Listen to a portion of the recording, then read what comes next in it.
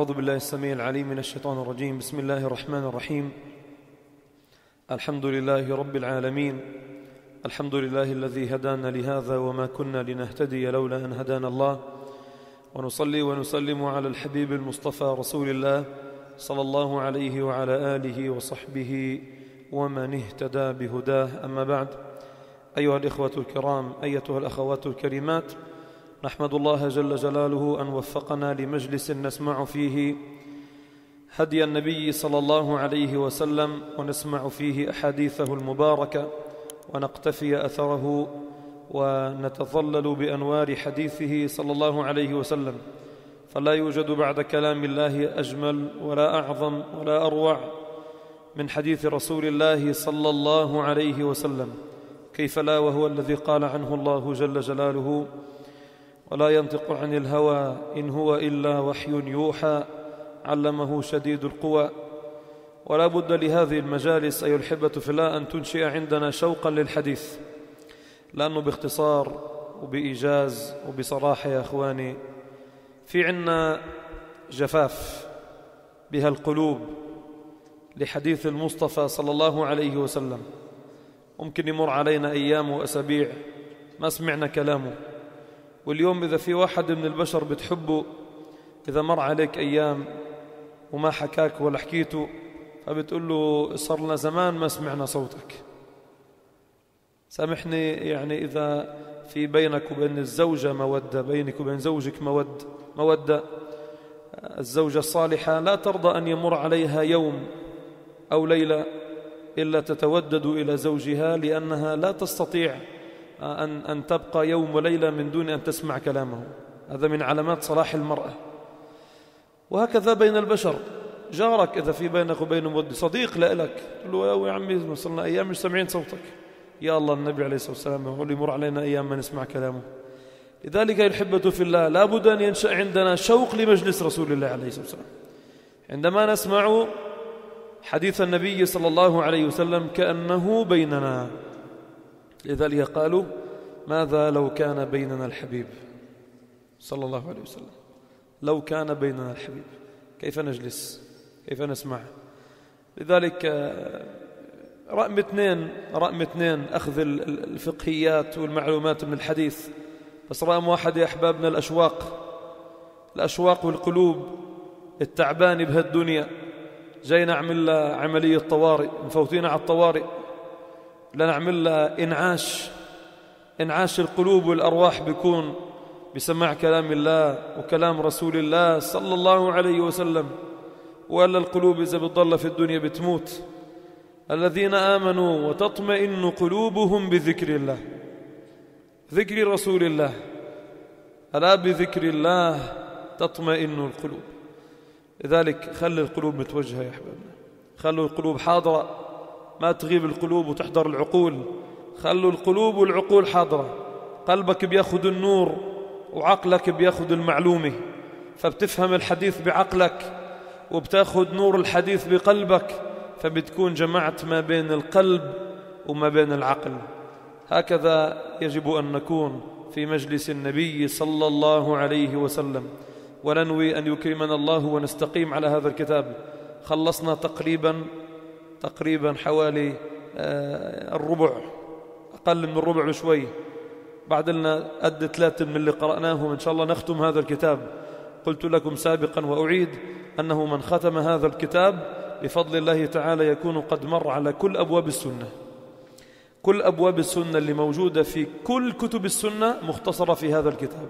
لذلك تكون قد مررت على كل أبواب السنة. فاسأل الله الثبات اسأل الله الاستقامة. لا تقدم على مجلس العلم والإيمان شيء. ما في شيء أغلى. كله رخيص. أنت بتقدم فربنا بقدمك وأنت بتأخر فربنا بأخرك. أسأل الله أن يجعلني وإياكم ممن قدم الكتاب والسنة. وأسأل الله تعالى لي ولكم العلم والفهم والتطبيق والتبليغ. بلغنا وإياكم أيها الحبة في الله في المقصد الثالث من العبادات. إلى الفصل الثاني وهو مواقيت الصلاة. وقلنا فيما سبق أن العلم بمواقيت الصلاة ضروري لكل مسلم. لذلك ليس من المقبول أن, أن يقول المسلم عندما تسأله ما وقت الظهر؟ فبقول لك خليني أطلع على الساعة. هذا ما اسمه مواقيت الظهر. هذه ساعة بتدلك على الوقت. ولكن الميقات الحقيقي هو عبارة عن شيء في الكون. جعله الله جل جلاله علامة لدخول الوقت. كذلك العصر والمغرب والعشاء. الساعة هي أمر مبتكر حديث يعينني على معرفة الوقت. ولكن مواقيت الصلاة أمر مربوط بالكون جعله الله جل جلاله علامة لدخول الأوقات. بينه النبي صلى الله عليه وسلم في عدة أحاديث. ماذا يتعلق كل ما يتعلق أو جل ما يتعلق في موضوع المواقيت تقديمها وتأخيرها والفائت منها والقضاء والأداء وغير ذلك اختصره الكاتب في هذا الباب فنشرع به بإذن الله جل جلاله. بسم الله.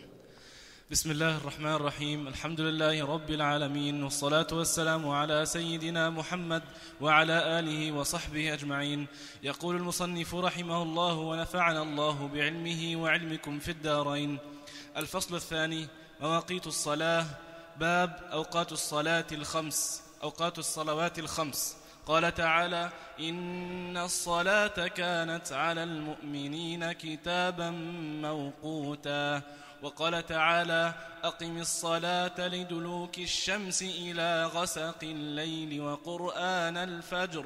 إن قرآن الفجر كان مشهودا. براعة في الاستهلال استهل بها الكاتب في هذا الباب. جمع بين آيتين. الآية الأولى بين فيها فضيلة المحافظة على وقت الصلاة وأداء الصلاة في وقتها الصحيح. لأنه من علامات إيمان العبد أن لا يؤخر الصلاة. لازم يكون في عندك ميزان. دايما بتزين في إيمانك. لأنه ادعاء كمال الإيمان عند الإنسان عادي آه، مش صحيحة مش سليمة. لأنه هاي النفس أمارة بالسوء. فطبيعة الواحد منا أنه يدعي أنه سليم الإيمان كامل الإيمان. بس لازم دايما تزيد إيمانك. دايما لازم تزينه. من علامات ضعف الإيمان تأخير وقت الصلاة. لأي سبب كان لعمل أو لانشغال في مال أو طعام أو شراب أو زوجة أو ولد فهذا من علامات ضعف الإيمان. لا أقول ذهاب الإيمان بل ضعف الإيمان. ومن علامات قوة الإيمان ذلك الشغف. هاي هاي الفزعة بسموها. مش مش أنا سميتها. النبي عليه الصلاة والسلام قال كان إذا سمع الأذان فزع إلى الصلاة. فزع فزع. هي اسمها فزعة القلب الأولى. وين بتروح؟ الله أكبر الله أكبر. قال كأنه لا يعرفنا ولا نعرفه. قاعدين نتحدث مع بعضنا. تغير. جيب سجادة بدنا نقوم نصلي وين أقرب مسجد؟ شو في ما قاعدين. شو شو في وقت الصلاة. أما يلا بعدين بعدين بعدين. ودخل وقت الصلاة الثاني. على ما ضعف إيمان. فهذه الآية الأولى دليل على أهمية وقت الصلاة بالفضيلة. وبينا إذا مذكرين بدرس الفقه أنه أوقات الصلاة لها عدة أقسام. في عندنا وقت اسمه وقت فضيلة وقت شو؟ كراهة وقت آه، أداء وقت قضاء. هذه كلها ضمن الصلاة الواحدة. الآية الثانية تبين أوقات آه، أوقات الصلوات الأساسية اللي هي ثلاثة. أقم الصلاة لدلوك الشمس إلى غسق الليل. الوقت ما بين الظهر والعصر دلوك الشمس جمعه في وقت واحد. عشان هيك عند السادة الشافعية الظهر والعصر تعتبر في وقت واحد. عند السادة الشافعية إذا امرأة حاضت في آه، وقت الظهر أو العصر فإذا طهرت تعيد الظهر والعصر مع بعضهم. إلى غسق الليل غسق الليل اللي هو الوقت الثاني يجمع فيه ما بين المغرب والعشاء. عشان وقت الجمع بيكون ظهر عصر. بعدين مغرب عشاء بعدين قال لك وقت لحاله وقرآن الفجر إن قرآن الفجر كان مشهودا. فإذا ثلاث أوقات أساسية النهار بقلبه وقتين ظهر وعصر. الليل بقلبه وقتين مغرب عشاء. والفجر صلاة واحدة لا تجمع مع أي صلاة أخرى. عن جابر بن عبد الله رضي الله عنه أنه قال كان النبي صلى الله عليه وسلم يصلي الظهر بالهاجرة والعصر والشمس نقية والمغرب. طبعا الآن بدنا نبلش نسمع الأحاديث اللي تكلم فيها الصحابة عن الوقت الذي كان النبي صلى الله عليه وسلم يصلي فيه الصلاة. الهاجرة هي شدة الحر. يعني الوقت الذي كان يصلي فيه النبي صلى الله عليه وسلم الظهر أحيانا كان في شدة الحر. شدة الحر متى بتكون؟ وهو أقرب وقت إلى زوال الشمس. متى زوال الشمس قلنا؟ عندما تزول عن كبد السماء. إيش كبد السماء؟ يعني وسط السماء. انتصفت الشمس السماء فصار الشيء بلا ظل فزالت الشمس عن وسط السماء إلى جهة المغرب بدأ وقت الظهر. وهذا الوقت غالبا تكون الحرارة فيه شديدة واسمه وقت الهاجرة.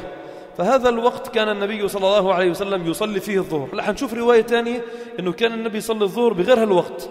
فنجمع بين الأمرين. نعم. والعصر والعصر والشمس نقية. شو نقية؟ يعني تستطيع أن تنظر إليها. نقية من الشعاع. يعني تستطيع أن تنظر إليها. والمغرب إذا وجبت. شو يعني وجبت؟ سقطت. شو الدليل من القرآن؟ يلا يا حفظة. سورة الحج. فإذا وجبت جنوبها شو يعني؟ أي إذا سقطت جنوبها فذبحت الأنعام فكلوا منها. الوجوب الوجبت بمعنى سقطت أي إذا سقطت السماء طبعا بما, بما ترى العين هي ما سقطت في البحر بس بما تراه العين في, في, في جهة الغرب فعندها يكون قد آه، صل دخل وقت المغرب. والعشاء أحيانا وأحيانا. يعني ما كان له وقت محدد للعشاء النبي عليه الصلاة والسلام. ما كان في ساعة الفجر طبعا ولا ساعة شو اسمها الساعة وتبين فيها المواقيت. فهي المواقيت هي عبارة عن ترتيب أوقات. أما الأصل أنه كانوا الصحابة ينتظروا النبي عليه الصلاة والسلام. أحيانا يدخل دغري يصلي معهم أحيانا ينطر نص ينطر نص ساعة. ما كان واحد منهم يأفف ما كان واحد منهم يقول له تأخر شو عم يعمل بالبيت؟ يلا يجي. الآن نحن لضعف يعني آه، استعدادنا. وترتيب أمورنا فلذلك بنحدد وقت بيحاول الإمام والمأمومين يلتزموا. ولكن إذا أحيانا اضطر الإمام الإمام بشر اصبروا عليه شوي حتى يعني يأتي. ولكن الصحابة رضي الله عنهم كانوا ينتظرون مجيء الإمام. نعم. إذا رآهم اجتمع اجتمعوا عجل وإذا رآهم أبطأوا أخر والصبح كانوا فإذا هو جاء ورآهم اجتمعوا مباشرة بيوت البعيد وأشغال وأعمال عجل العشاء يعني. وإذا رآهم أبطأوا يعني تأخروا أخر العشاء. كانوا أو كان النبي صلى الله عليه وسلم يصليها بغلس. الغلس هو يعني آه، أول الفجر والظلام ما زال شديدا. ويعني هو الأقرب لوقت الليل بعد انتهاء الليل مباشرة بعد الفجر. نعم. باب فضل صلاتي الصبح والعصر. قال تعالى وسبح بحمد ربك قبل طلوع الشمس وقبل الغروب. هذه الأوقات التي ميزها الله لابد أن تميزها. أعمى البصر ما بيميز الوردة من القمامة أعزكم الله. أعمى البصر ما بيميز الشيء الجميل من الشيء القبيح. اللي فاقد حاسة الشم ما بيميز أعزكم الله رائحة العرق من رائحة المسك. هذا مضروب عنده الشم. طيب اللي ما بيميز وقت قبل المغرب من وقت آه، النهار. هذا أعمى القلب أسأل الله السلامة. لذلك ما بليق أنه قبل المغرب قاعدين عم نشتغل في الدنيا مثل مثل باقي الأوقات ولا بليق بعد الفجر نكون آه، وقتنا مثل باقي الأوقات. لا بد للمؤمن بعد الفجر أن يكون في مجلس مع الله قبل طلوع الشمس وقبل الغروب. ميز الله هذه الأوقات فميزها. نعم. عن عمارة بن رؤيبة رضي الله عنه أنه قال سمعت رسول الله صلى الله عليه وسلم يقول لن يلج النار أحد صلى قبل طلوع الشمس وقبل غروبها. يعني الفجر شو رأيكم؟ هل يعني هذا الحديث أنه من صلى الفجر والعصر ولم يصلي الظهر والمغرب والعشاء فيدخل الجنة ولا يدخل النار؟ ما مفهوم الحديث إذن؟ أنه من حافظ على صلاة الفجر والعصر فمن باب أولى أنه يحافظ على باقي الصلوات ولكن هذا تخصيص من عام يدل على فضيلة هذه الأوقات على غيرها. لذلك قالوا الصلوات خمس أفضلها العصر والفجر وأفضلها ما بين الفجر والعصر شو؟ الفجر. وأفضل صلاة في الأسبوع فجر الجمعة. لذلك احرص أن لا تغيب عليك فجر الجمعة أبدا أبدا أبدا لأي عذر كان. فجر الجمعة في جماعة. نعم. باب الإبراد بالظهر في شدة الحر.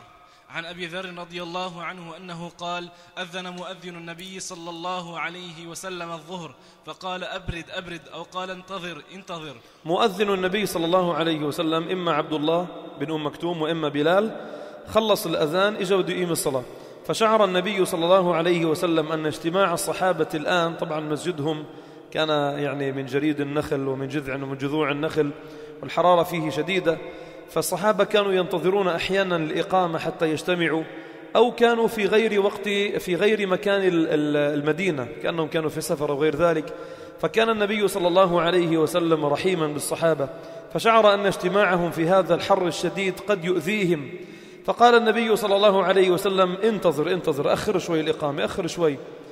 آه وهذا فيه بيان أن اختيار المكان الأفضل والأسباب التي تعينك على استشعار الخشوع في الصلاة إن استطعت هذا أولى وأفضل.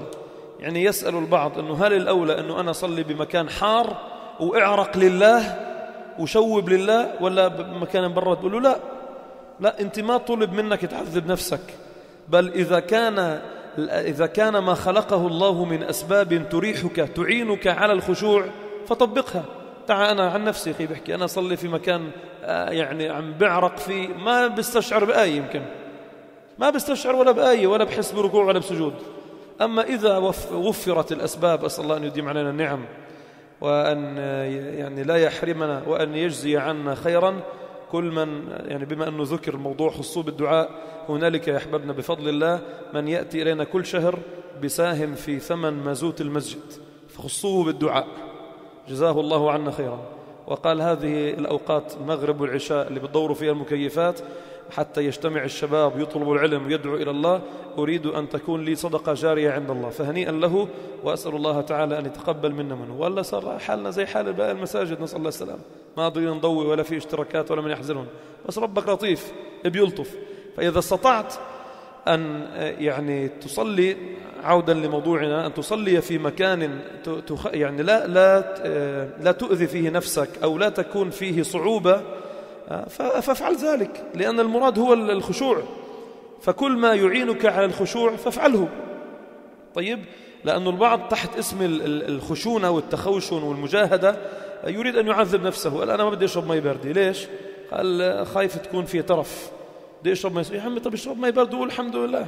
ما استشعر نعمة ربنا عليك بالماء البارد. إيش المعنى؟ قال أنا بدي أخلي عبيتي هيك بلا كوي وبدي أكويها وبدي أحط ريحة بباب التخوشم. لا اكوح تقول الحمد لله نعمة الله علي.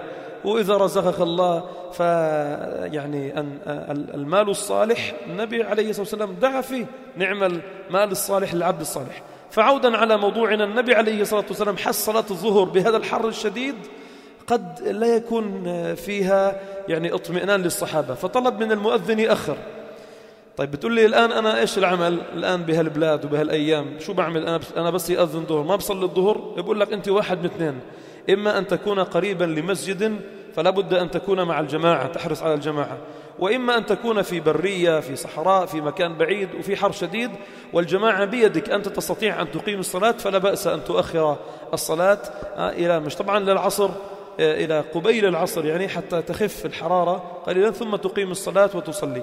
فهي الصلاة التي تستطيع أن تؤخرها. طبعا إذا ما كان في مسجد قريب منك بدون كراهة. أما باقي الصلوات إذا أخرتها آه، يعني لقريب وقت طبعا غير الفجر كمان لقريب وقت الصلاة التي بعدها توقع بالكراهة. مثل العصر مثلا إذا أخرت لقبيل المغرب توقع بالكراهة. المغرب توقع بالكراهة. العشاء توقع بالكراهة. لابد أن تصلي في أول الوقت إلا الظهر والفجر. إذا كنت بعيدا عن المسجد ولا تصلي مع الجماعة يمكنك أن تؤخرها لقبيل دخول الوقت الثاني. نعم. وقال شدة الحر من فيح جهنم فإذا اشتد الحر فأبردوا عن الصلاة حتى رأينا فيء التلول. التلول جمع تلة يعني صرنا نشوف أنه الشمس خلاص بلشت تمشي على المغرب فصرنا نشوف الفي في التلال لأنه على الظهر ما في في فبس غربت للمغرب صرنا نشوف في التلول. باب إثم من فاتته العصر.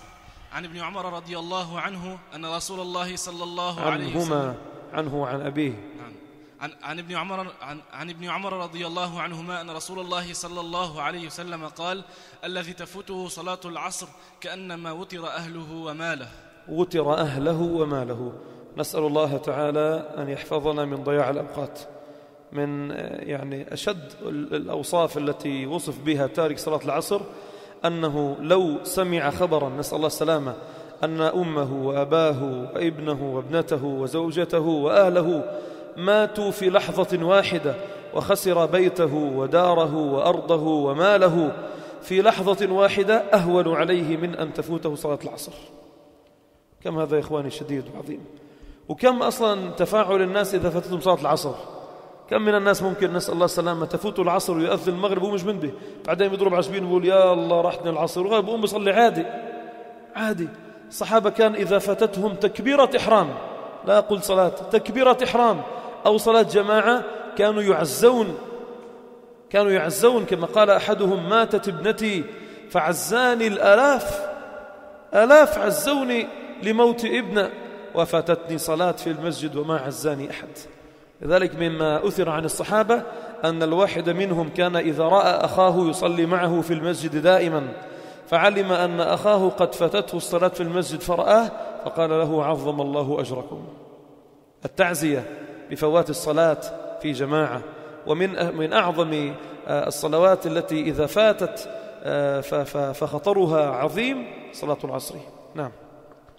باب الأوقات المنهي عن الصلاة فيها.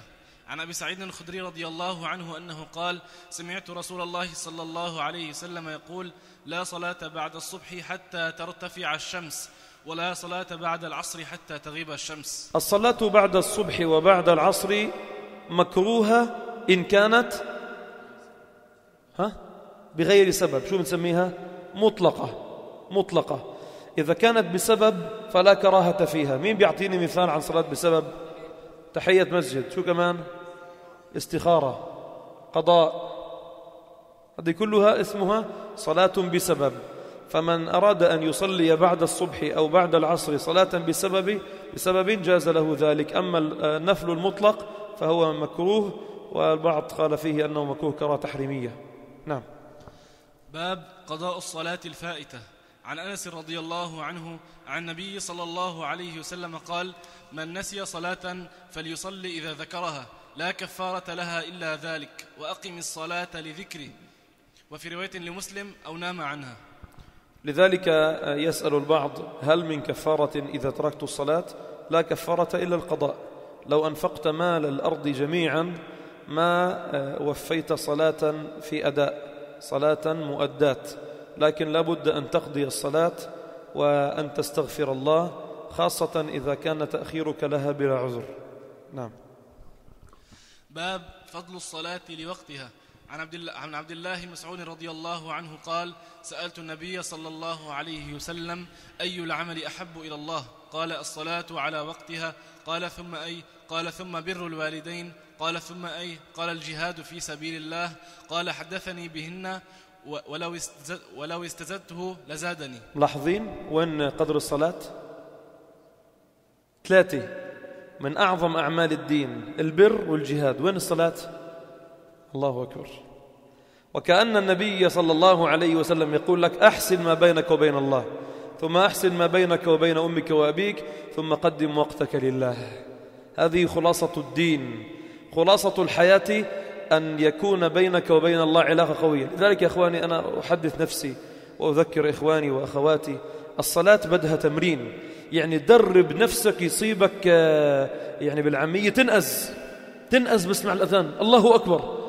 ويعني يصبح لمن حولك عادة يعرفونك بها. هذا موضوع الصلاة عنده خطير. حتى هذا يعني يشهد لك به عند موتك. بيقولوا رحمة الله على فلان كان إذا سمع الأذان تغير. بصير كل اللي حولك بيتأثر. موضوع الصلاة عنده موضوع خط أحمر كما يقال. هذا وهذا هو عبارة عن شيء داخلي. هذا انعكاس لحب داخلي لحسن علاقة مع الله. تنعكس على حالك عند الصلاة. ثم بعد ذلك حسن العلاقة مع الناس وأول الناس من تحسن علاقة معهم الأم والأب. ثم بعد ذلك أن يكون عندك خير للناس فتجاهد في سبيل الله. هاي الدين. بينك وبين الله بينك وبين خلق الله وبينك وبين الأمة جميعا ودين الله تقدم لدين الله. بس العجيب أنه بهذه الرواية قدم الصلاة على وقتها مش مصلي على وقتها على البر وعلى الجهاد. نعم. باب الترتيب بين الصلوات.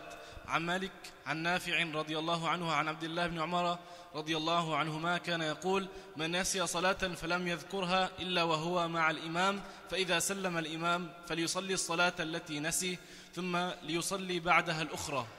هذا الحديث استدل به من قال بوجوب الترتيب بين الصلوات. يعني بيسأل البعض بقول يا شيخ أنا فاتتني صلاة الظهر والآن أنا بوقت العصر فهل بصلي الظهر بعدين بصلي العصر ولا فيني صلي العصر بعدين صلي الظهر؟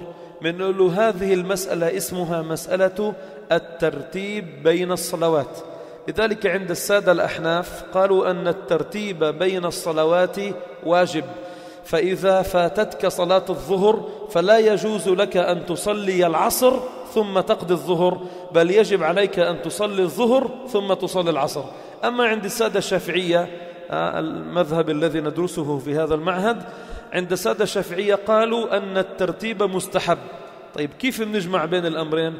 قالوا من استطاع أن يخرج من الخلاف وأن يرتب بين الصلوات فهذا حسن.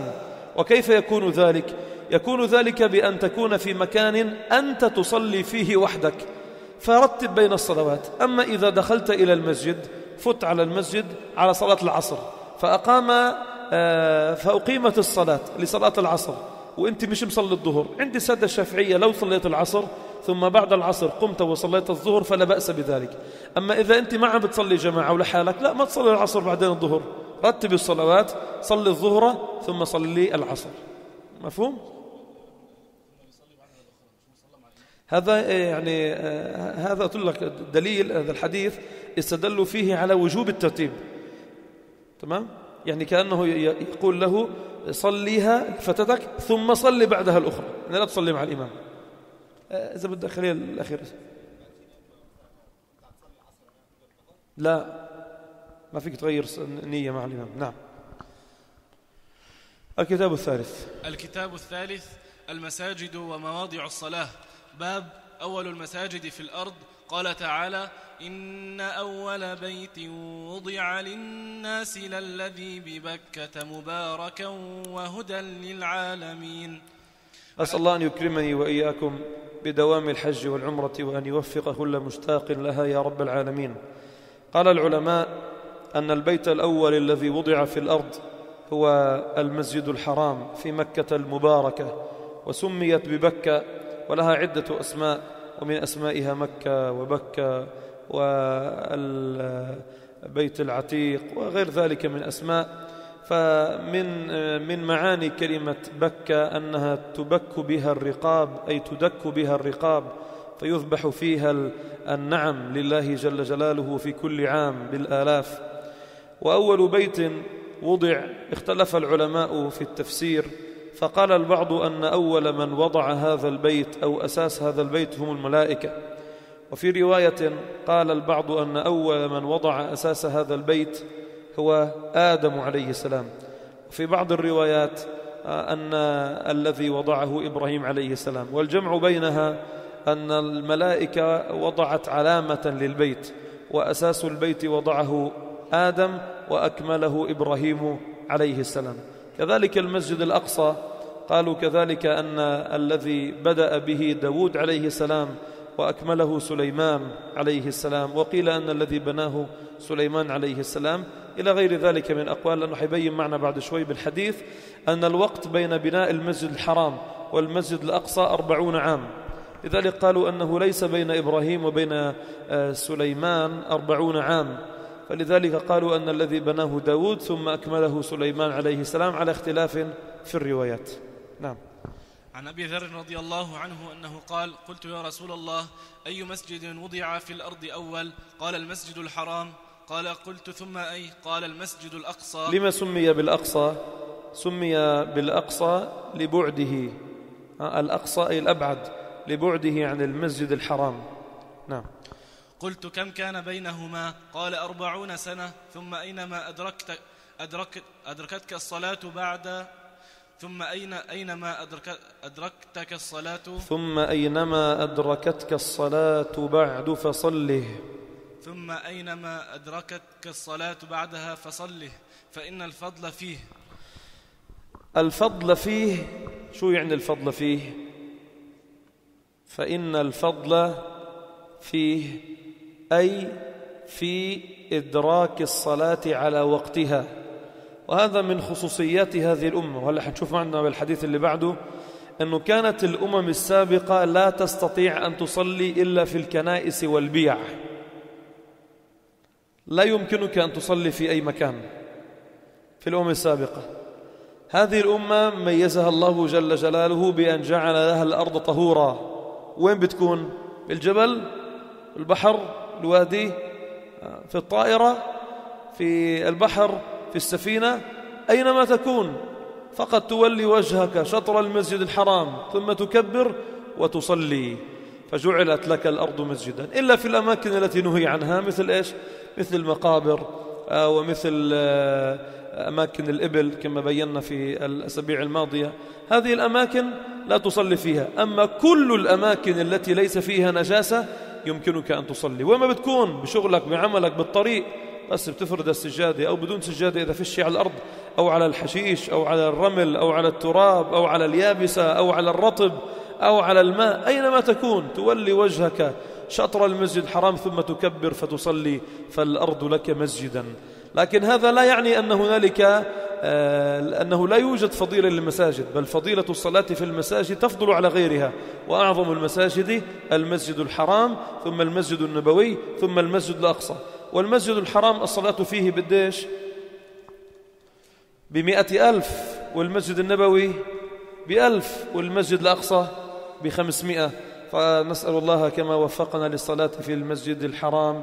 والمسجد النبوي أن يتمم لنا الخير ونصلي في المسجد الأقصى جميعا. إن شاء الله أمين. بسم الله. نعم. باب الأرض مسجد وطهور. عن جابر بن عبد الله رضي الله عنه أن النبي صلى الله عليه وسلم قال أعطيت خمسة لم يعطهن أحد قبلي. نصرت بالرعب مسيرة شهر وجعلت لي الأرض مسجدا وطهورا. فأيما رجل من أمتي أدركته الصلاة فليصل وأحلت لي فليصلي. فليصلي. وأحلت لي المغانم ولم تحل لأحد قبلي. وأعطيت الشفاعة. وكان النبي صلى الله عليه وسلم يبعث وكان النبي يبعث إلى قومه خاصة. وبعثت إلى الناس عامة. عن أبي عن أبي سعيد الخدري رضي الله عنه أنه قال قال رسول الله صلى الله صلى الله عليه وسلم الأرض كلها مسجد إلا الحمام والمقبرة. فضائل الأمة المحمدية كثيرة. جمعها العلماء في كتب يعني جاوزت المئة فضيلة. لكن من هذه الفضائل المباركة عشان أنت تعرف نفسك من أي أمة وإيش ربنا تعالى بشو ميزك وفضلك فلها عدة فضائل. منها أن الله جل جلاله جعل لنبيه صلى الله عليه وسلم رعبا في قلب أعدائه من الله. مسيرة شهر يعني بيكون بعده بعيد. فيأكل الرعب قلب العدو فيخاف فينتصر النبي صلى الله عليه وسلم.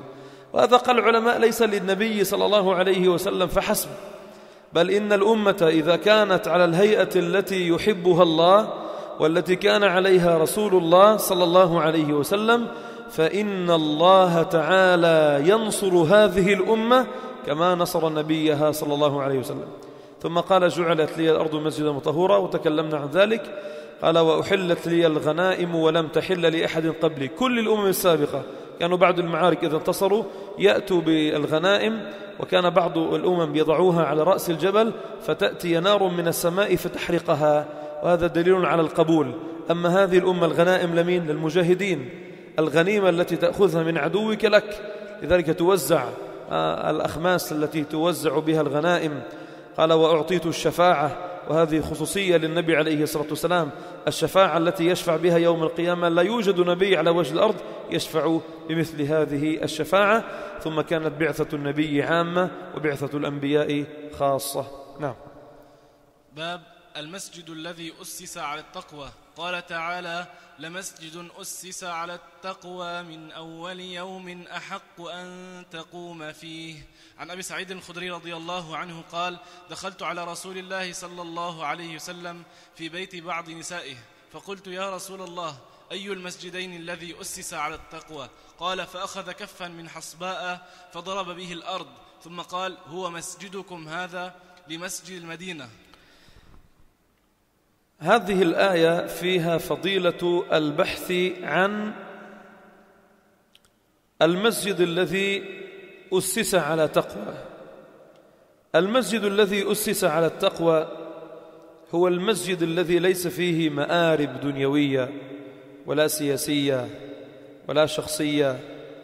المسجد الذي أريد به وجه الله جل جلاله. فهذه المساجد التي أريد بها وجه الله حري بك أن تبحث عنها لأن لها أثرا خاصا في القلوب وهذا يا أحبابنا ملاحظ. أسأل الله السلامة. تدخل إلى مسجد أسس على غير تقوى يمكن من مال حرام يمكن من مال مش معروف إيش مصدره يمكن له مآرب معينة سياسية أو غير ذلك.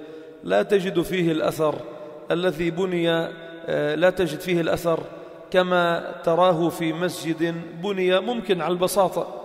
ممكن ما في الزخرفة والجمال اللي موجود في ذلك المسجد ولكن تجد فيه نورا وبركة وأثرا وسكينة خاصة.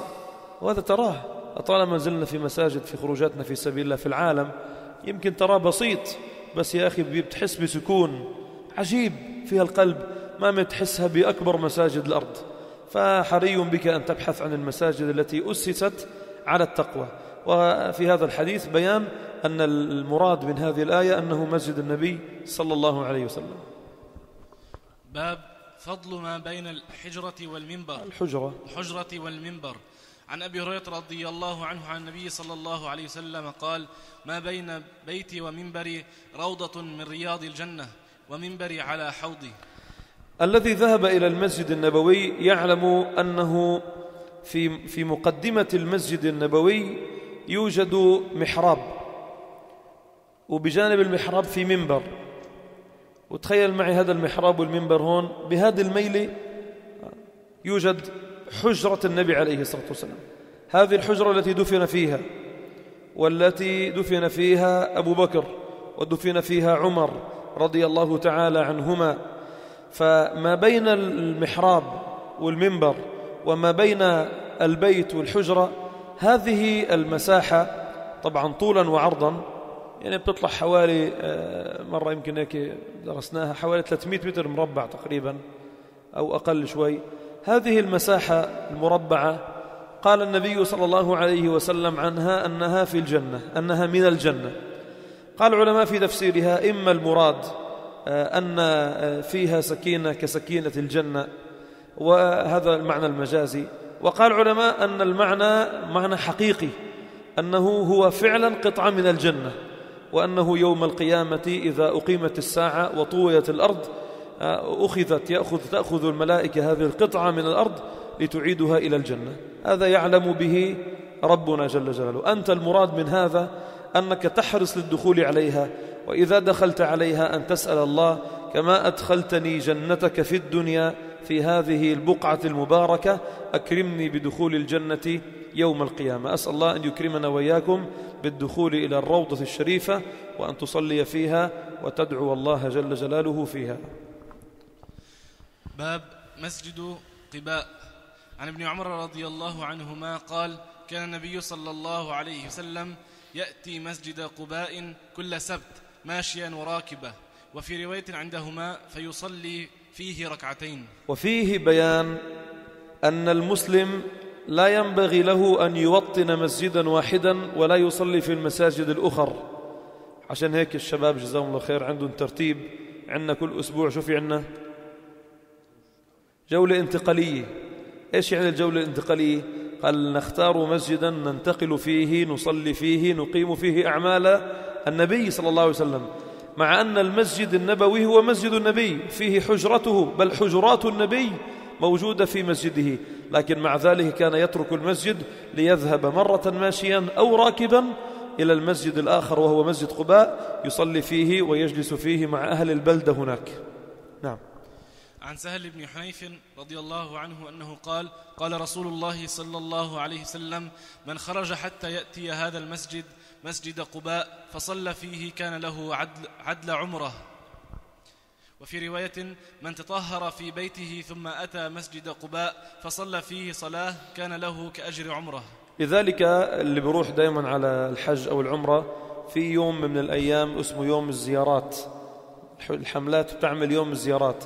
فبيأخذوا الحجاج أو المعتمرين بالبولمان بيقولوا لهم توضوا بالفنادق وبدنا ناخذكم الآن على مسجد قباء. بياخذوهم على مسجد قباء ويدخل فيه المعتمر أو الحاج أو الزائر فيصلي ركعتين ويطلب من الله جل جلاله أن يكرمه أجر عمرة يكرمه بأجر عمرة لأنه من تطهر في بيته ثم ذهب إلى قباء فصلى فيه ركعتين كان له أجر عمرة.